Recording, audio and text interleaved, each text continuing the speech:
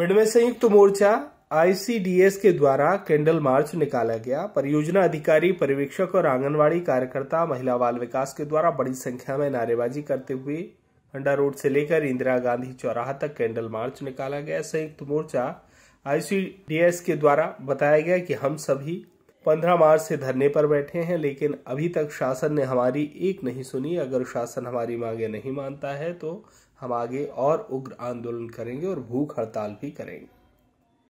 संयुक्त मोर्चा के एक बैनर के नीचे सी डी पी पर्यवेक्षक आंगनबाड़ी कार्यकर्ता मिली कार्यकर्ता और सहायिकाएँ बहने सभी ने आज कैंडल मार्च सरकार के विरोध में निकाल रहे हैं। यहाँ से लेके इंदिरा चौराहे तक हम लोग जाएँगे लेके।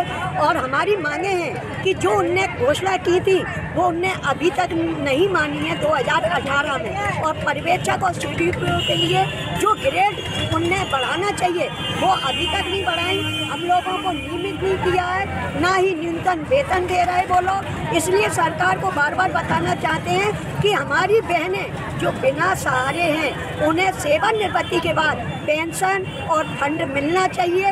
तो हमसे सरकार से को यही बार बार प्रदर्शन करके बताना चाह रहे हैं कि हमारी मांगें पूरी हों और हम लोगों को नियमितीकरण करें और उनको सी डी और पर्यवेक्षक की जो मांगे हैं, उनको भी पूरा किया जाए। हम लोग आज इसी से इसी तरह से प्रदर्शन करते रहेंगे और इसी तरह से हम करते रहेंगे। पिछले पिछले पंद्रह मार्च से ज़िले में आंदोलन कर रहे हैं। सरकार कब तक नहीं सुनेगी?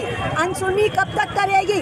हम बहनों की शक्ति एक बैनर के नीचे बावन जिला जब बैठ गए हैं तो हमारा तो विश्वास है कि कहीं ना कहीं सरकार हमारी बात सुनेगी। अगर नहीं सुनेगी तो हम लोग भूख हड़ताल पे आंदोलन जारी रहेगा और हो सकता है भूख हड़ताल भी एक तरफ़ शिवराज बहनों को हमने बहुत कुछ दिया।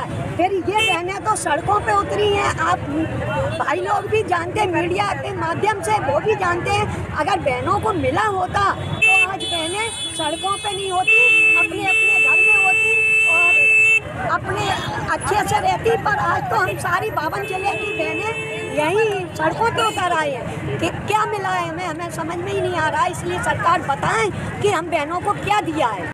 भिंड से श्याम सुंदर उपाध्याय की रिपोर्ट।